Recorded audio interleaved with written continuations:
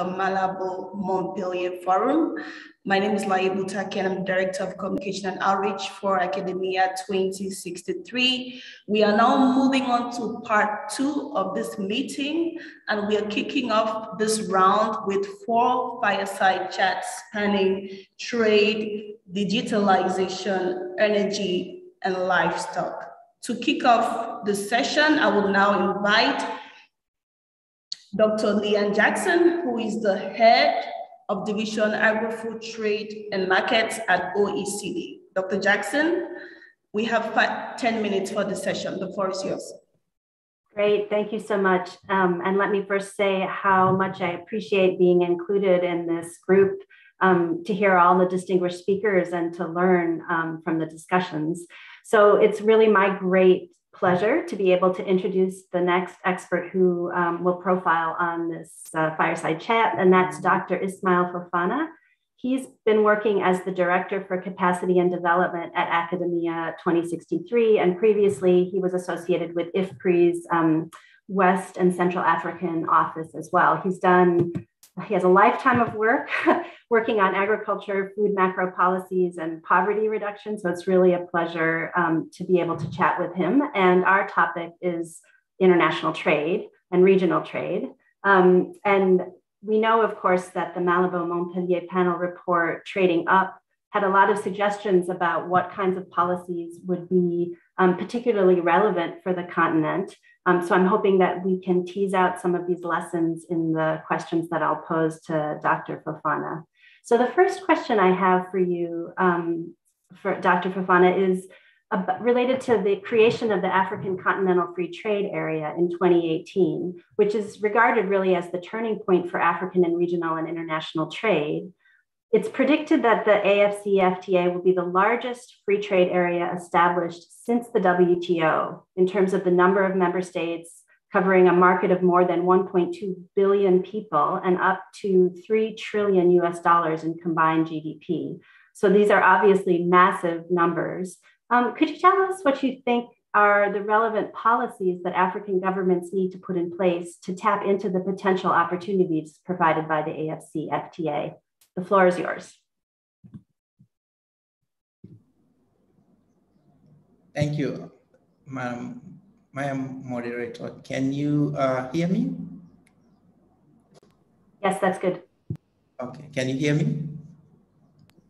Yes, thanks. Go ahead. Thank, thank you. Thank you. It's a pleasure be, uh, to be here. And uh, I would like to thank the organizer for the opportunity.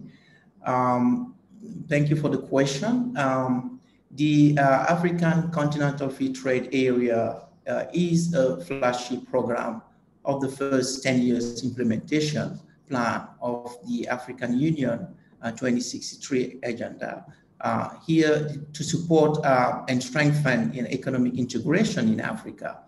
Uh, in terms of policy innovation, um, we can learn um, some important lessons and experiences uh, in terms of strengthening intra-regional Africa trade uh, in Africa from uh, some leading, uh, uh, three leading uh, regional economic communities in Africa. those are, RECs are SADC, COMESA, and ECOWAS. SADC is the Southern African Development Community. COMESA is the Common Market for Eastern and Southern Africa, and ECOWAS is the economic community for West African state. Um, some, some of the uh, lessons we've learned, uh, you know, with those uh, regional economic communities in terms of boosting into uh, uh, intra-regional trade uh, are, for example, fast tracking the trade facilitation arrangement at the RECs level. Um, this include uh, reducing tariff and non-tariff trade barriers, NTBs. Uh, preliminary evidence uh, studies uh, indicates uh, by eliminating import duties under the implementation of the uh, African Continental Free Trade area, will boost uh, the intra-Africa trade by more than 50%, 52% more precisely. And then if you add non-tariff trade barriers, you eliminate non-tariff trade barriers to the, uh, the, the, import uh, tariff elimination, then you will double the intra-Africa trade. So it is, it is very important that countries start by fast tracking the, uh, by uh, reducing tariff, reducing tariff and non-tariff barriers in order to, to, to make uh, progress towards the, the, the, the, target that are set under the, uh, the AFCF, CFTA. The second uh, policies that can be also contributed in place um, uh, is harmonizing quality and sanitary and phytosanitary standard. This is important because studies have uh, shown that uh, SPS measures raise the price of African foodstuff, foodstuffs by 14%. So by harmonizing the, uh, the standard and facilitating uh, the movement of goods, uh, reducing these barriers, uh, then you will certainly uh, benefit from uh, you know, reducing uh, prices. Um, the other policy measure that is important also to, to be in place is the information system. We need to have to develop and uh, disseminate a regional and continental information system to make sure that we reduce information asymmetry among trading partners uh, in order to increase the efficiency of markets. And uh, I will also add another one, uh, the uh, information and communication technologies, another uh, important system that policies need to be in place to, to adopt, to, to promote the adoption of the ICT system, and more importantly, to make sure that they are coordinated, uh, it, they are coordinated across uh, uh among different uh, trading partners in the region. Um, this is very important because uh, as the volume and the diversity of shipment grow under the African Continental Free Trade Area, then ICT become critical, become critical in terms of maintaining the trade competitiveness, but also reducing costs. And finally, uh, another policy that I think it's important also that African government should put in place is um, uh, in order to benefit um, to, to, to, to, to, to potential, the potential opportunities that are created under the, the free trade agreement uh, or free trade area is uh, policies that promote uh, the use of public and private partnership to finance cross-border and intra-trade infrastructure.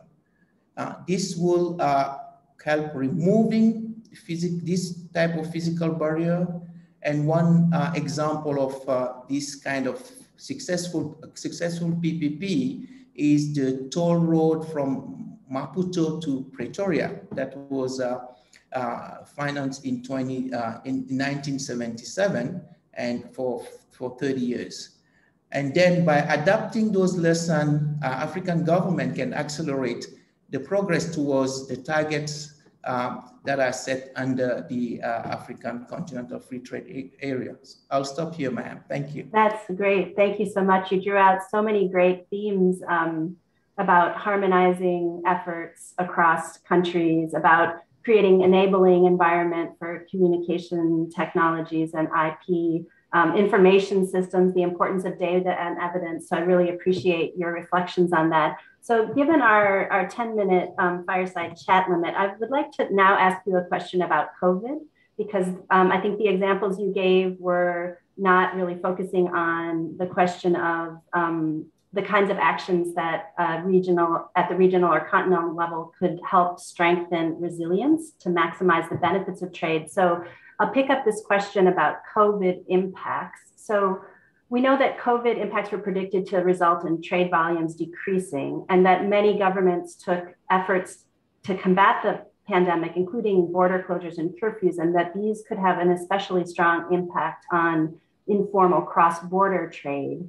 Um, and uh, so the COVID related measures forced many small traders to give up trading over several months. What are some of the actions at regional or continental level to strengthen crisis preparedness and resilience to maximize the benefits of international intra-regional trade? Over to you.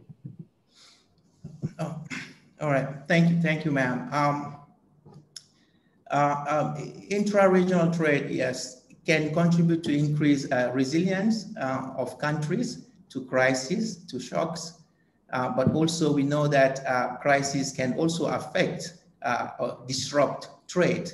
Uh, and the current trend that we have been, the positive trend that we have been seeing uh, in terms of intra-regional uh, trade across Africa are likely be to be negatively or ad adversely affected by the, the COVID-19 pandemic. Um, for instance, we, we heard um, um, numbers have shown that um, in Nairobi, the average price of uh, maize rose by 10% between April 2019 and April 2020 uh, due to the COVID pandemic. Uh, then uh, when and, and uh, when uh, policy responses are not coordinated across countries, that will exacerbate, you know, the negative impact or the adverse impact that uh, a crisis like COVID can bring. Uh, we can we have example of uh, examples of um, the Ebola crisis when Rwanda uh, and uh, DRC borders was closed because of the Ebola, and then that uh, contributed to increase the surge uh, you know, prices, the prices of some uh, staples, uh, fruits and vegetables in borders town. So um, coordination is important, is crucial. Uh, we need to coordinate policy responses within RECS and at the continental level.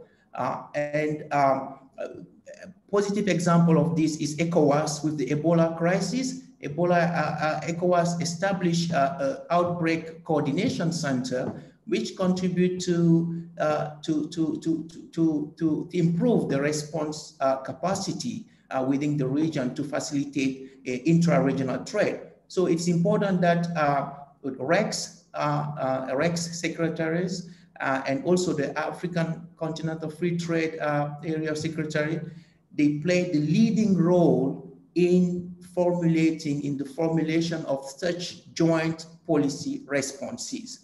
Uh, and it is also important that at the country level, that this coordination also happen there. When we have a coordination centers at the country level, a task force at the country level, at the regional level also, that can contribute to strengthen um, you know, the, the preparedness uh, to future crisis, but also build resilience to ensure that the main corridor for trade are maintained open in the times of crisis and then that will enhance uh, the, the, the, benefit of uh, uh, intra-regional trade in the region. Thank you so much. I'm sorry to, to cut us short, but um, I'm looking at my clock and it tells me my 10 minutes is, is wrapping up. But I think what your point is so excellently made is um, by you can't count on being able to coordinate from scratch. So having existing mechanism, like the example you gave about ECOWAS's um, experience um, coordinating through the Ebola crisis, having that experience of coordinating can help you then the next time you have to face a crisis. So that was really an excellent, um, an excellent uh, lesson to draw out from that. So thank you very much, Dr. Fofana. I'm going to wrap up the fireside chat um, and pass over to our next our next fireside chat topic, which is on digitalization. So I'll pass the floor over to Ambassador uh, Professor Mohamedou Kah, who's the permanent representative of the Gambia for the United Nations office in Geneva. Um, Professor Kah, you have the floor. Thank you very much, uh, Lee Ann Jackson, for that wonderful segment. And uh, we thank Ismail for uh, sharing his perspectives and very valuable insights. Um, I have the honor and pleasure to introduce our next panelist, um, uh, uh, Mr. Bolaji. Mr. Bolaji is the chairman of the board of Vurayan Vurayan Vurayan Corelli. I, I, yeah, I hope I'm, I'm pronouncing it right. Um, yes. yeah, Corelli is a marketplace company that provides a platform to match buyers, sellers, commodity aggregators, logistics partners, financiers, and food processors to ensure the economic well-being of all stakeholders. He's also the co-founder of Cellulant Nigeria Limited. He comes to us as an entrepreneur par excellence, creating solutions uh, that are impactful for the agri-tech sector. Um, uh, we have uh, uh the privilege to, to engage him on three key questions um, that build on from the work of the Malabo Montpellier panel. we had a report that you can have access to through our platform called Byte by Byte. that report captures policy innovations uh, for transforming Africa's food systems with digital technologies. Uh, now, Mr. Bolaji, the question I have for you, uh, the first question is, Africa's digital transformation is well underway, allowing the continent to leverage the benefits of new technologies for food systems transformation. How African countries position themselves to harness and deploy such technologies will determine the success of digitalized agriculture operations in improving African sustainability, food security, and prosperity. Now, what policies and institutional structures need to be put in place to stimulate the innovation and adoption of digital technologies in the food systems? Uh, please proceed, Mr. Bolaji. Yeah, thank you, Ambassador Kah. And I would also like to thank the organizers for inviting me. I will go straight to the point. The question of um, stimulating innovation in agriculture through digital, it's a very, very important one. And in order to kind of guide government in terms of what to do, we need to have clarity on what is the problem we want to solve for. And for me, agriculture is one of the most complicated economic segments in any country in the world. Because unlike other economic segments, it has so many actors, from the farmer to the village aggregator, to the logistics guy, to the processor, to the distributor, to the bank, to the insurance guy, to the credit guarantee, so many actors. But the whole system is not functioning as an integrated whole. So from a policy perspective, what would be my recommendation to government? I would say at the country and continental level, we need to now begin to implement open data standards and open data frameworks. Because in agriculture, you see a lot of duplication of efforts. So let's take an example, a simple thing like farmer registration. You discover that governments are registering farmers, private sector actors are registering farmers, development actors are registering farmers, cooperatives are registering farmers and you see so much duplication and waste. When we begin to implement open data standards and open data frameworks as a policy position, we begin to harmonize and standardize all these things and begin to promote sharing. So in my view, we need to promote policies that ensure that information is shared much, much easily in agriculture. It's something I've always found unique about agriculture. Large economic segment, but information sharing is very, very poor and everybody seems to work in silos. So that would be my first policy recommendation. From an institutional framework, if we want to stimulate digital innovation, we need to create what I refer to as the digital register of agricultural assets. And we need this digital register at the country level and at the continental level. And what is supposed to be in this register?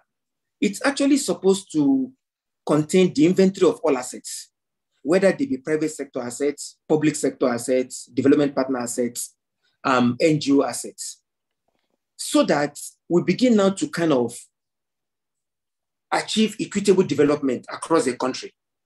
If you take a look at our country, um, called our country, Nigeria, for example, you begin to see lots and lots of investments.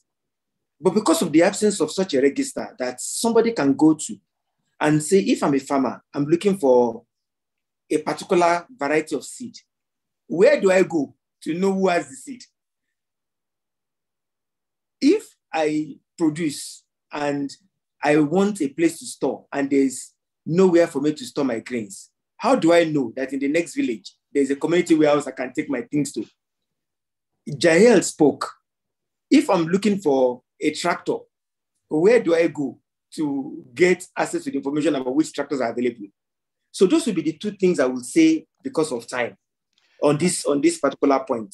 If you do these things now, we can now innovators can now build on them. Thank you, thank you, Mr. Bolaji, for that very very in, insightful perspective. Um, the second question I have for you is um, Africa's rural areas and smallholder farmers in particular could greatly benefit from access to new technologies and reliable data that would help them make more informed decisions and get more value from their produce as you have uh, just shared with us in, in the last question. Now, a sound digitalization environment that embraces smallholder farmers and other actors along the agriculture value chain will ensure that Africa's rural areas are not left behind. So, given the backdrop of that and what you have shared with us, what actions need to be taken by government or governments to ensure that entrepreneurship and innovations in digitalized agriculture is inclusive of smaller scale activities? And, and thank you very much for, for, for, that question. And I will answer with just one sentence. Um, government needs to lower um, barriers to entry for farmers. Mm-hmm. And lower barrier to entries for what exactly? In my mind, it's lower barrier to entry for three things. Number one is make it easy for uh, farmers to have smartphones. In the 21st century, a smartphone is the doorway to economic inclusion. You know, we always talk about financial inclusion, but anybody who is not economically included cannot be financially included. Economic inclusion precedes financial inclusion. So I think um, making it possible for as many farmers in rural areas to have access to smartphones super, super important because we open the world to them. Number two is to lower barriers to credit and to insurance. And these two things are very, very important. I sincerely believe that our government must now use new forms of credit scoring in our agriculture sector. There are new models now, satellite-based credit scoring, that based on the area of land you are cultivating, based on what you can cultivate, we can allocate you a credit score and you can get access to financing. So I think government as a policy needs to create those um, national frameworks to be able to say in this part of the country, in this part of the continent, this is the credit score, so that financial service providers can go there. And then on the bit of insurance, and I will, I will build on the comment that Brian made when he was talking about irrigation. Our farmers don't have security of income. And I sincerely believe that we need to figure out how to do revenue protection insurance for for farmers. In Nigeria, we call it guaranteed minimum price, which is every farming season, farmers should have an idea that what's the minimum price that they should be able to sell their produce for. And we build insurance frameworks around that. That if it swings either way, this is how we cover them. I sincerely believe that if we do these three things now, digital as an enabler for economic empowerment just begins to, to fly and to thrive. That's how I respond to that, Ambassador Kah. Thank you, Bolaji. Thank you. And um, that uh, last point actually connect to our last question. We, I wish we had more time to to engage you further because this is a very, very exciting but very important topic in the agriculture value chain and, and ecosystem. Uh, there is a pressing need, Bolaji, for both private and public sector R&D to develop digital tools and services that address the persistent challenges across the agriculture value chain, not just in farming, but also around post-harvest losses and processing. More investment in R&D is critical to developing cutting-edge digital solutions that meet the need of all value chain actors as you alluded into, into the last question that you answered. Now, the third question is, given that backdrop, what role can the private sector play in mobilizing the required investment for agriculture digitalization? You began um, uh, alluding to it in your last intervention. And what policy and fiscal incentives can encourage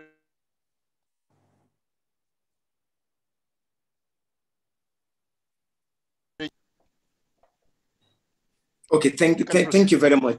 Thank you very much, Ambassador. With, with regards to the role of private sector, in my own mind, it's actually a simple thing. And it's a, I see it as a messaging, as a messaging role for the private sector. I think the private sector has a big role to play in communicating the message to the investment community that agriculture is a business. It's not a development project. I think if that message sinks in to pension funds, to venture capitalists, capital will flow into agriculture. Up until recently, people were not taking agriculture as a business. People saw it as a, a like, like a toy that some specialists are, are playing in one corner. So I think private sector we have a huge role to communicate that, that idea. And that's where the work that um, people like Jael are doing is super, super important. And then from the policy perspective, I see three things. Um, one is the tax incentives. I sincerely believe that anybody who is investing in agriculture should have significant tax incentives, simply because it's not an easy area to invest in, and it's an area that requires patient capital.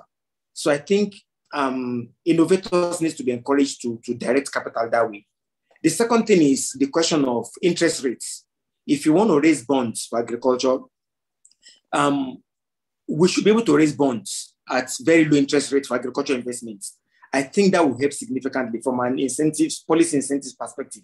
And then the second thing is guarantees. Agriculture can be risky because it just takes um, a season of pests to wipe out all the investments. So how do we now begin to, not to take away the risk, because if you take away all the risk, you create another problem, but to share the risk equitably. You know, those are the three policy areas that I think um, government should focus on. Thank you, Ambassador Kah. Thank you. Thank you very much, uh, Bolaji, for your very thoughtful um, responses to these very vital questions, which I'm sure we will have an opportunity to engage you more. Um, uh, to leave the audience, I think one very important takeaway uh, from your intervention is the importance of sharing of quality information and data. But to go beyond just data and sharing of information, but to ensure that we have smart policy regimes that can put in place data infrastructure and digital infrastructure that will embody the issues that you have raised around asset registration, around open data systems and, and data governance. I think the crux of it is to go beyond the rhetoric around digitalization and digital tools in agriculture and factor the centrality of policy regimes that can put at the center smart data infrastructure and digitalize, digitalize, uh, digitalization infrastructure for agriculture value chain that will address all of the issues that you have shared with us. So we thank you very much.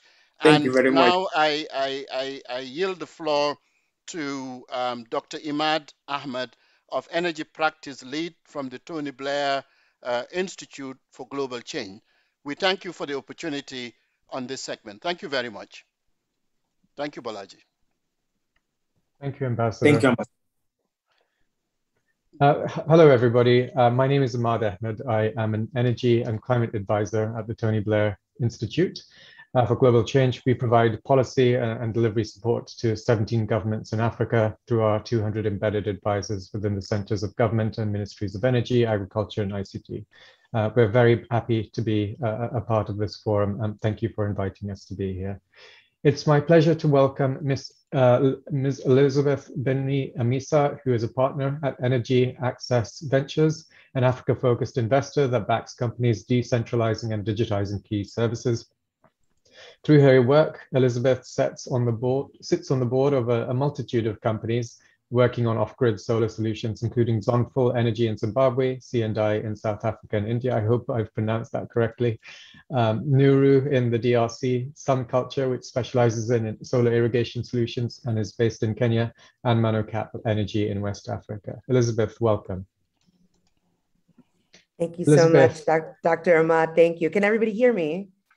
Can you hear me, Ahmad? I, I can hear you. Great. Thank you. Thank you for that introduction. Thank you to the Malabo um, Montpellier panel for the invitation to join you all. It's very rare that the investor set uh, in venture capital and private equity get to opine on um, topics such as this. So I'm very happy to be here. And a special thank you to Dr. Debisi Araba for dropping my name and suggestion. So Thank you so much.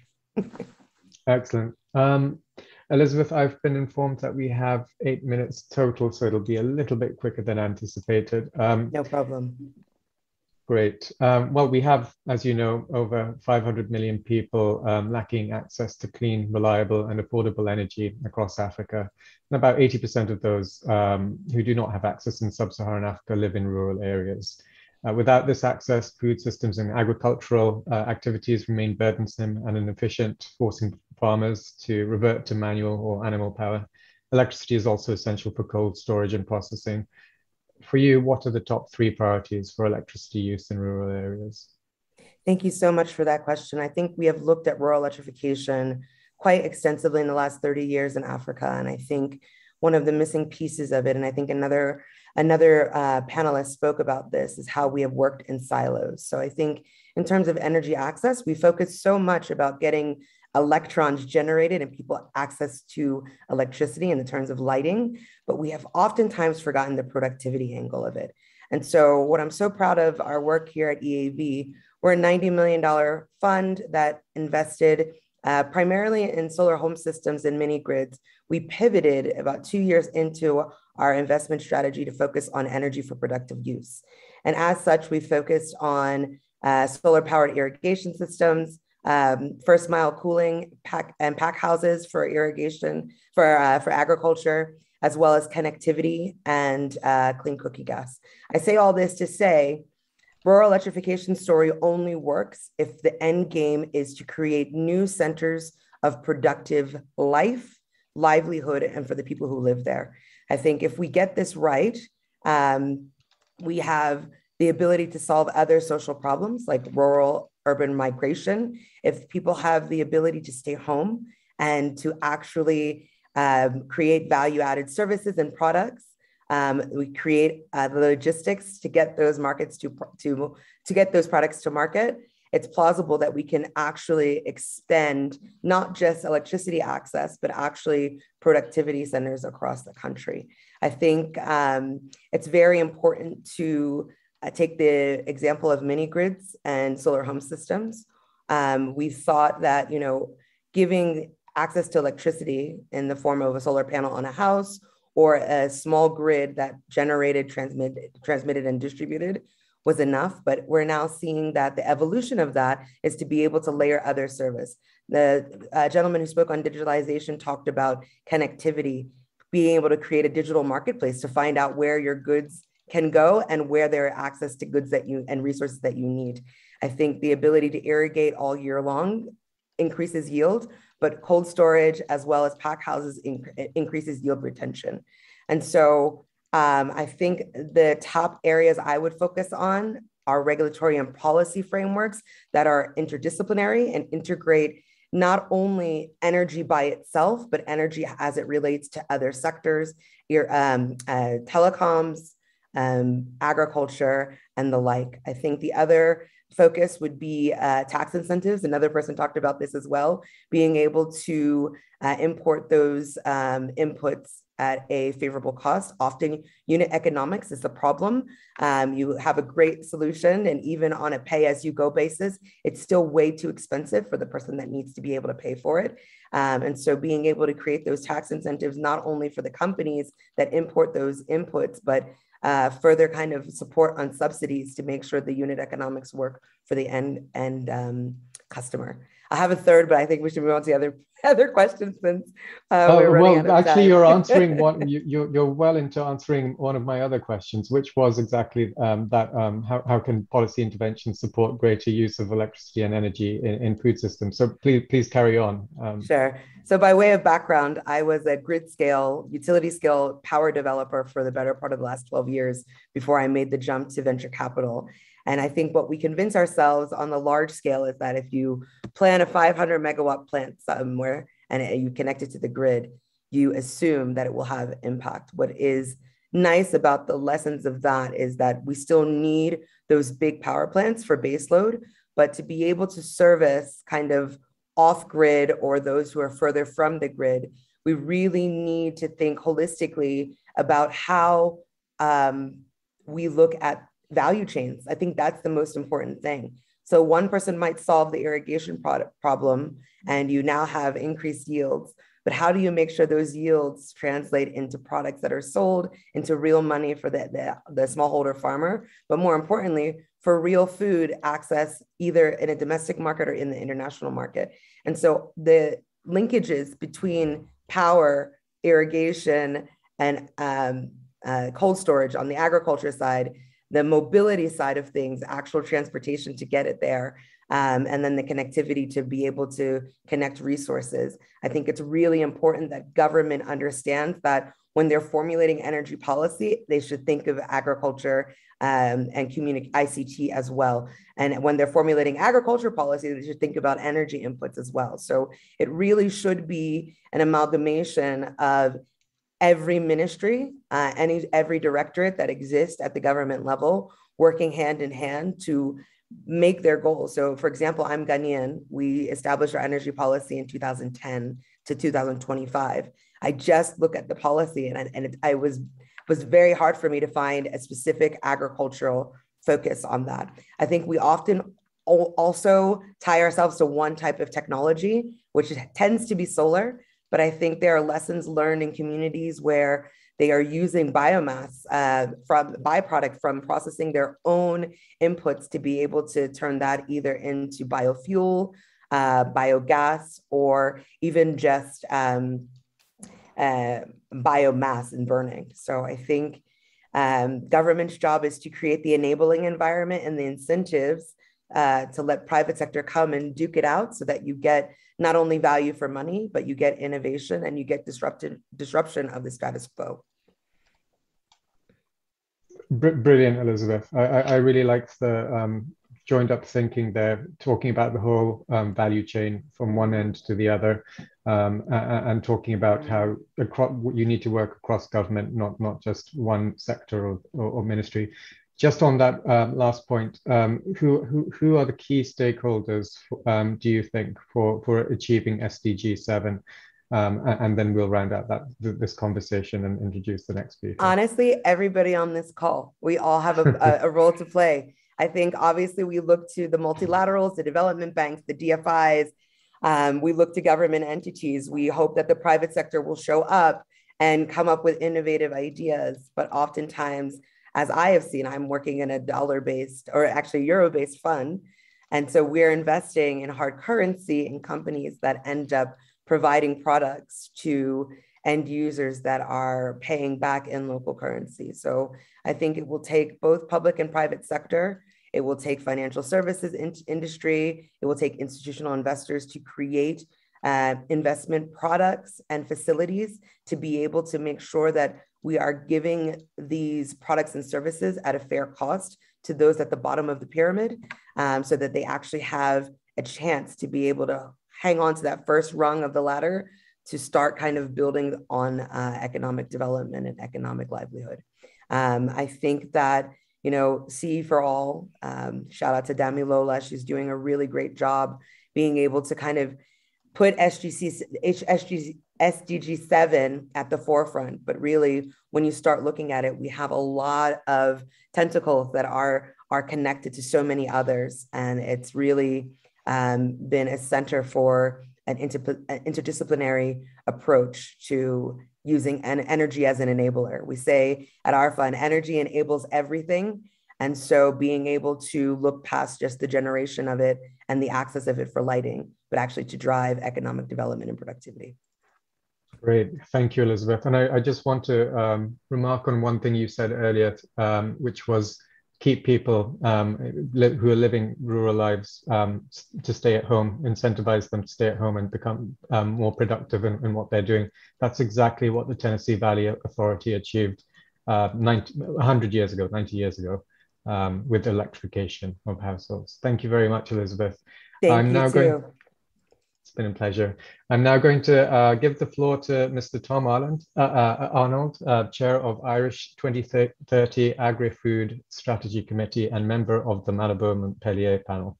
Tom, thank you. Thank you very much, Gareth. well, we're coming to the end of our fireside chats, and we are under time pressure. So I, am very delighted to introduce Dr. Bagoré Bathily, uh, the founder of La Laiterie du, Berger. Uh, and we're going to talk about this crucially important issue of livestock. We know the importance of livestock across Africa, but it's of particular importance in Senegal. Uh, it's, it, it, it, contributes there 30% of to agricultural GDP, and yet, Senegal continues to be strongly dependent on livestock imports, in particular of dairy products, to meet its domestic demands. So, my question is what are the main challenges faced by the private sector to increase domestic production? And what are some key actions that are required from both the public and private sectors to overcome these issues? Bagoré, are you there? Ah, you are. Excellent. We can't hear you yet. Yeah. Okay. So you, you hear me now? Here we know. Yes, indeed. Okay. Yes. Thank you. Thank you, Tom. So um, I apologize. I will do it in, in, in French because my English is uh, not good enough to, to go ahead. Uh, donc, um, en effet, euh, au Sénégal, euh, mais comme dans beaucoup de pays euh, du Sahel, on a beaucoup d'éleveurs. C'est une grosse partie de la population. Et pourtant, euh, on a du mal à connecter les produits de ces éleveurs, le lait, la viande, en tout cas, parlons du lait aujourd'hui, on a du mal à connecter le lait qui est produit par ces petits éleveurs euh, au marché. Euh, donc, jusqu'ici, il y a beaucoup de PME qui importent du lait en poudre parce qu'il est moins cher. Ils importent du lait, ces PME importent du lait en poudre et elles fabriquent des produits finis qu'elles mettent sur le marché avec des, marques qui sont assez performantes. Donc, il y a des fortes croissances sur l'activité économique de ces PME. Mais ça, ça ne profite pas aux éleveurs. Donc, disons que l'infrastructure que constituent ces PME, hein, de mise en marché, de transformation du lait et de mise en marché, n'arrive pas à être connectée euh, à la production des, des compétitivité en fait. Ces PME disent si j'achète du lait local, ça me coûte beaucoup plus cher, 50% ou 100% cher que si j'importe du lait euh, en poudre. D'autant plus que le lait en poudre, on le sait, euh, euh, est finalement pas très cher sur, sur, le marché international. Et en plus, il y a des, il y a des, productions, disons, enfin des, des, spécialités qui, utilisent de la poudre de lait écrémée et de la matière grasse végétale qui ont un bon goût finalement et qui sont encore moins chers que le lait en poudre. Donc je dirais un des gros problèmes et ce qui, constitue euh, un statu quo, un, statu quo euh, euh, mortifère pour les, filières d'élevage local, un des gros problèmes, c'est le, prix en fait, auquel on peut produire le lait et qui n'est pas intéressant pour les, pour les, pour les PME, les off-takers qui pourraient mettre le produit sur le marché. Okay, Th thank you very much for, for, that, for that response. My second and final question is, there is evidence which shows that a well-functioning livestock production value chain can improve farmers' incomes and can be a, an important source of employment and income. What are some of your recommendations in order to create and amplify the employment and income opportunities for women and youth in the livestock value chain in Senegal? Merci, merci Tom. Euh, effectivement, euh, dans, le cadre de, l'entreprise que je dirige, mais dans d'autres entreprises aussi qui ont réussi à acheter le lait aux petits éleveurs, on voit l'impact euh, sur l'emploi euh, des, éleveurs, en particulier les femmes. Vous savez que dans le Sahel, c'est surtout les femmes qui s'occupent des vaches laitières, qui font la traite et la commercialisation du lait et les jeunes, euh, qui accompagnent les troupeaux pendant la journée euh, pour aller au pâturage. Euh, dans, le cadre de mon entreprise, pour donner un benchmark, il y a quatre fois plus d'emplois au niveau des, éleveurs que dans l'entreprise elle-même. Donc, la création d'emplois est quatre fois plus forte si on, si on achète du lait local que, euh, par rapport aux emplois concrets dans les entreprises. Enfin, le benchmark que nous, on a dans mon entreprise, c'est celui-là. Donc, euh, c'est extrêmement puissant comme, comme, comme levier d'emploi. Et, je dirais que pour insister, euh, le type d'emploi qu'on crée dans, les zones rurales, c'est ça, cible des gens qui n'ont pas beaucoup d'autres compétences. Donc, on, on, crée des emplois pour des gens qui ne sont pas employables. Et, et le fait d'acheter le lait, c'est vraiment ça, permet d'avoir des revenus constants et, de, rentrer dans une vraie, euh, disons, théorie du changement, un vrai schéma de, changement, une vraie trajectoire de changement euh, sur le temps long, où en plus les éleveurs acquièrent d'autres compétences. On parlait tout à l'heure de l'accès euh, à l'information ou en tout cas à l'économie, même grâce au smartphone, à la bancarisation, etc. En tout cas, ça apporte sur le temps long beaucoup d'autres compétences qui permettent aux éleveurs et à leurs enfants de rentrer euh, progressivement dans la classe moyenne. Donc, à mon avis, à mon avis euh, la, la, chose clé, comme il a été dit aussi hein, précédemment dans ces discussions, c'est de, réussir à constituer euh, des données, le bon niveau de données. Quand on dit que le lait local par exemple, est moins cher que le lait importé, bon, ça c'est vrai si on compte le, prix du lait seulement. Mais quand on voit les externalités positives qu'il y a à, acheter le lait local, hein, la, stabilisation dans les territoires euh, euh, de l'activité, de, l'économie,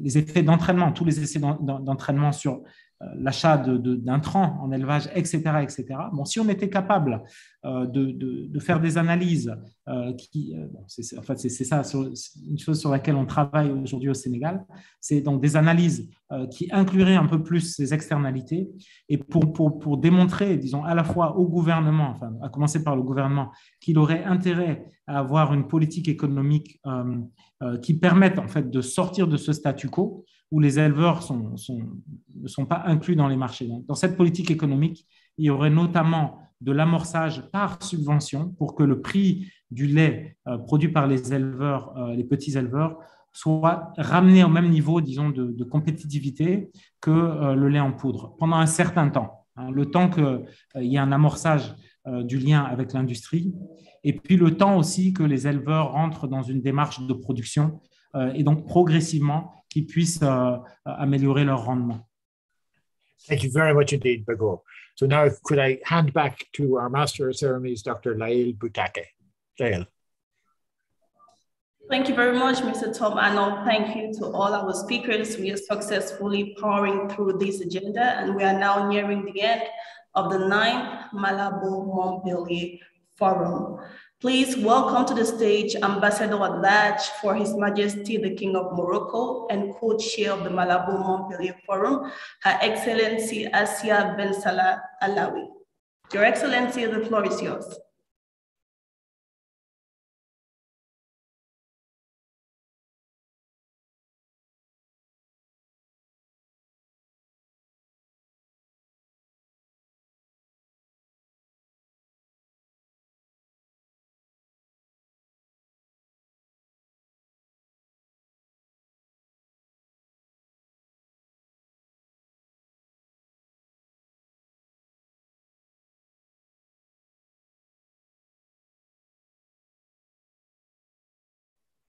Your Excellency, I can see she's on the call.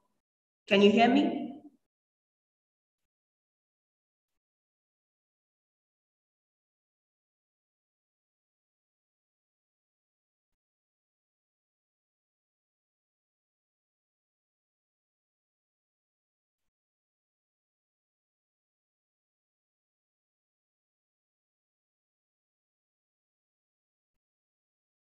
While waiting for the co-chair, um, I will now hand over to Professor Joachim von Braun, who is co-chair of the Malabo Montpellier panel. Thank you. Let me um, have a few final reflections and uh, maybe our co-chair, uh, Ambassador Assia Ben Salah Alawi uh, comes back uh, in a moment, then she would have the final word. Uh, dear colleagues, what brings us together today is um, recipes for success. recipes for success, policy innovations for food systems transformation, building resilience and adapting to climate change. This is not just the title of the volume, uh, which we released today. It captures um, our mission and strategy, our mission and strategy of the Malabo Montpellier panel.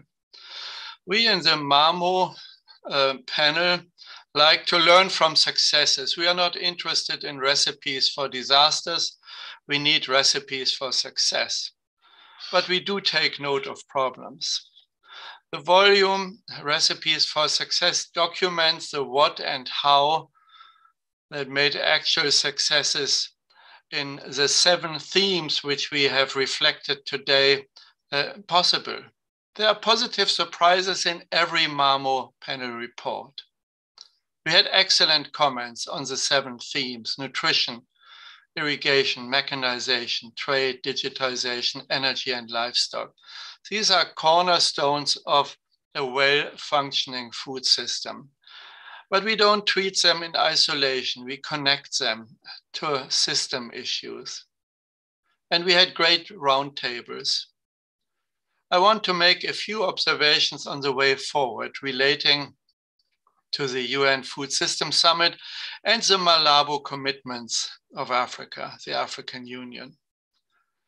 Number one, the true costs of food need to be identified and considered. These costs of health and of environmental damage of um, food systems that are not well functioning must come down everywhere, also in Africa the benefits of a sustainable, efficient food system that delivers on the sustainable development goals need to be enhanced.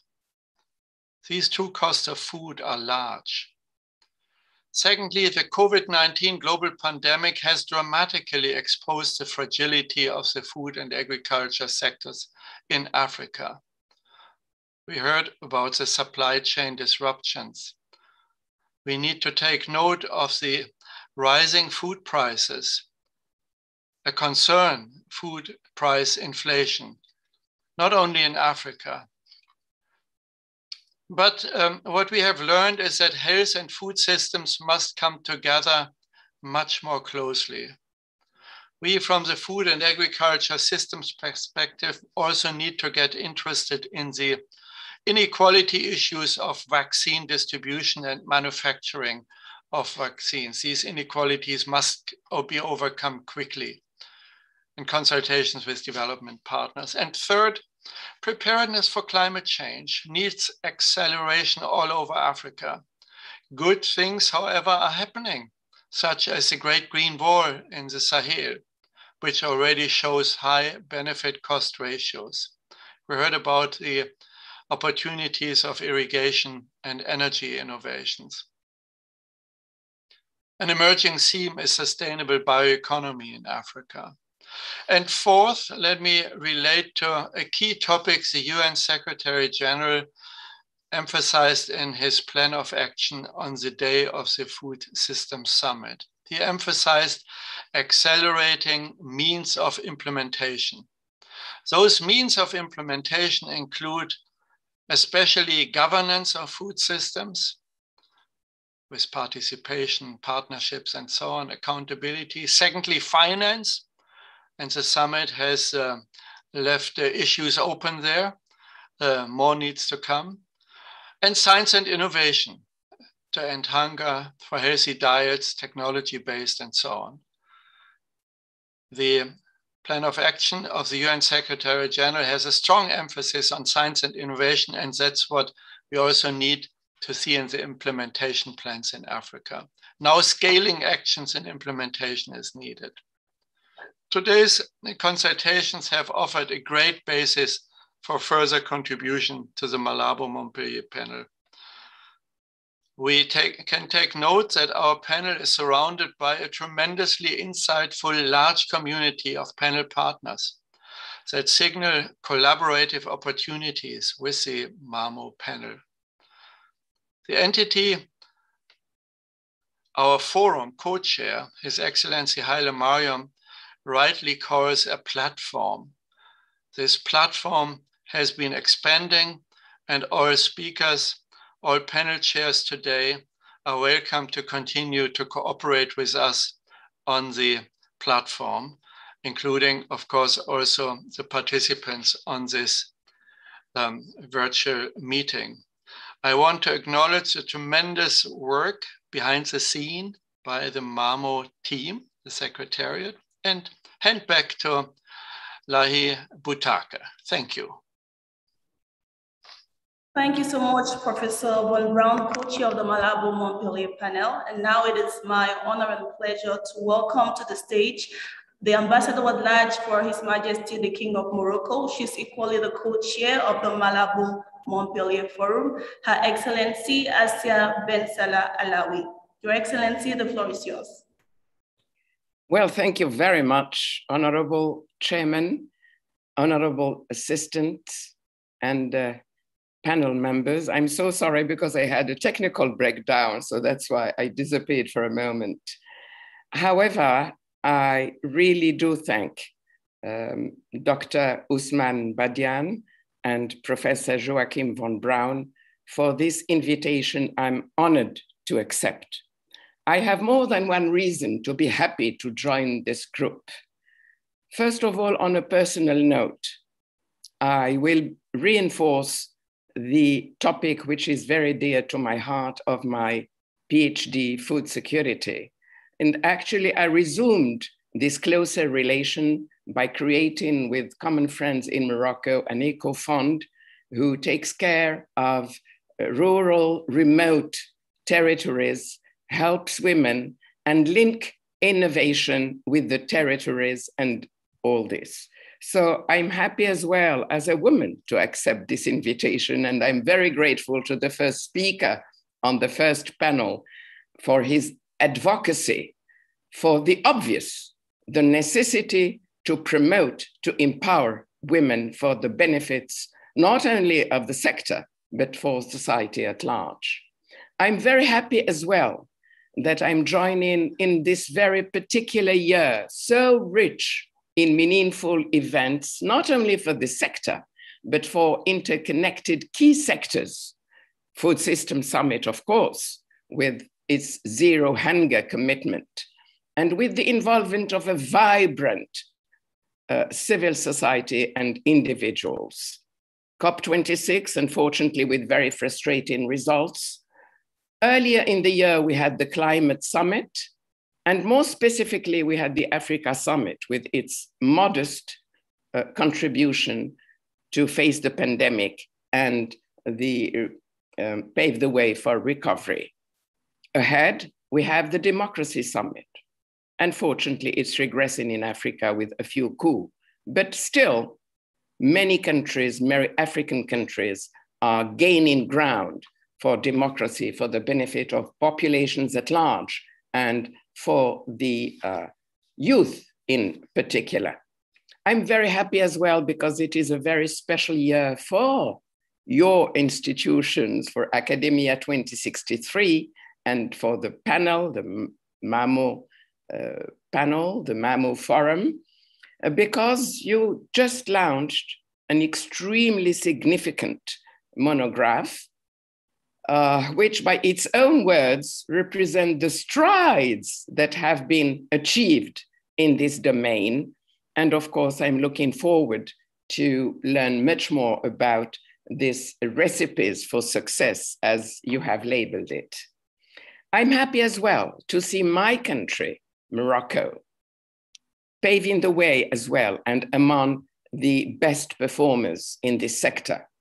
Thank you, Karim, for the involvement of the OCP group you represent in this panel, and which, of course, thanks to University Mohammed VI Polytechnic in particular, is reaching out through multiple partnership with the best institutions in the world like MIT, Florida Tropical Food, to just name it, and reaching out to 14 for the time being centers in, across Africa.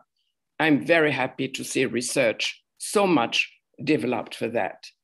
I would like to pay tribute as well of uh, Si Mohamed who participated in this uh, panel, for his lifelong commitment to the progress of this sector in our country.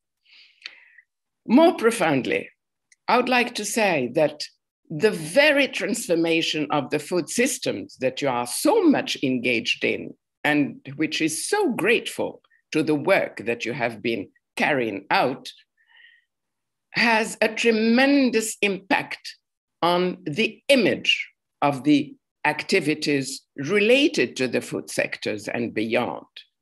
Uh, before, we used to think of agriculture as being the activity of the old, poor, uh, rural populations. Today, with more investment, more research, more digitalization, more modernization, it is really gaining attractivity because the activities are as well more rewarding and can be even much more with all the efforts you are deploying. So I think it's a great encouragement for our youth who unfortunately are subject to massive unemployment, as you know. I would like to finish. I don't want to be too long. You have said it all. I don't have anything to say because I have a lot to discover. So I would like to finish on a very positive note and go even beyond, because I'm convinced that the centrality of the transformation of the food systems and its multiple interconnections with the key areas and systems for sustainability of life of mankind on this planet. This is the real stake. Will offer more opportunities to our youth, to populations at large in the continent.